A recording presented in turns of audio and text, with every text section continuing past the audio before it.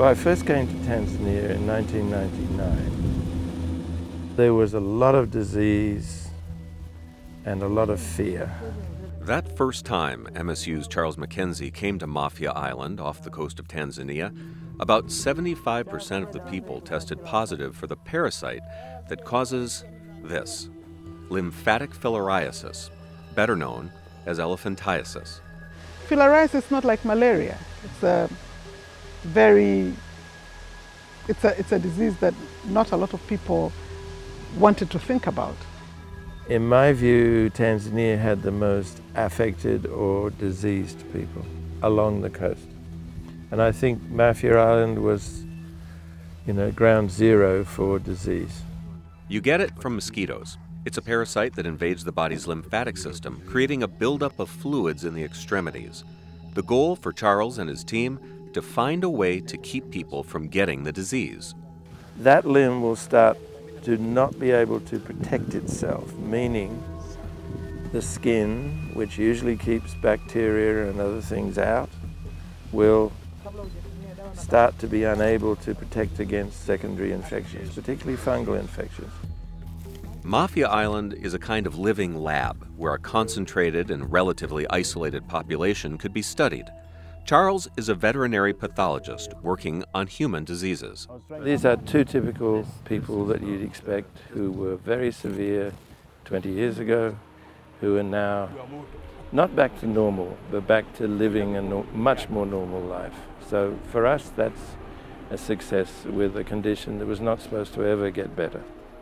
He saw potential in two drugs usually given to animals that, when combined and taken regularly, could prevent the disease and, over time, even cut down the number of active parasites inside those already infected. He worked closely with Tanzanians like Mwele Malecela. I was a mainly human parasitologist. He was a, a, a veterinarian, but we were both looking at the same things and we were looking at them in animal models. The causes of diseases is, don't really they may affect a species more than one other, but the mechanisms are the same. One of the biggest challenges was getting people to take the drugs. Once word got around that they could not only prevent the disease, but also greatly reduce the symptoms, well, things got a lot easier. Once I ask people, how do you feel? And they say, wow, the program has done so much for me. I'm no longer sick. I feel so proud, actually, really proud. Getting the entire country of Tanzania aboard for a prevention and treatment plan has been a daunting task. But for Charles Mackenzie and his in country team, his collaborators and partners, it's all been worthwhile. It wasn't just in one place, so we expanded to a region every year, and that way we were able to expand very quickly. And this year we've reached full coverage of the country. Now, most of people do know why should they take drugs and they've seen the people who have improved. Yeah. So I can say the future is so bright. If there are lessons to be learned in terms of partnerships, this is one way and this is one great uh, example.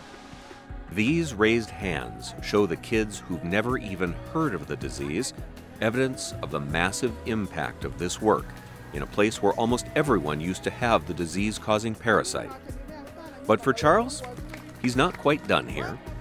Success would be that there are no new cases, and particularly there are no children who have the disease.